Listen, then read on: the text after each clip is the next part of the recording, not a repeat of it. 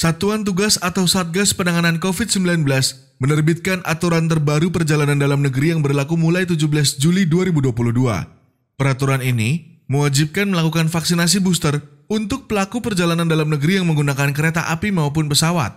Dalam peraturan yang diterapkan pada 17 Juli 2022 ini, penumpang yang belum menerima vaksin booster diwajibkan melakukan tes PCR atau tes antigen.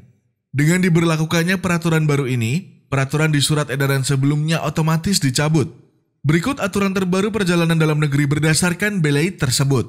Pertama, pelaku perjalanan dengan moda transportasi darat dan udara sudah vaksin ketiga atau booster tidak perlu antigen atau PCR.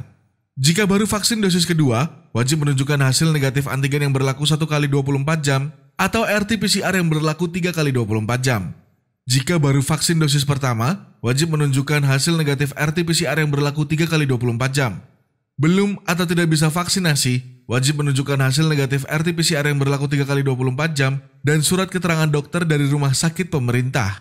Kedua, untuk pelaku perjalanan usia 6 hingga 17 tahun, yakni wajib menunjukkan sertifikat vaksin dosis kedua tanpa menunjukkan hasil negatif RT-PCR atau rapid test antigen.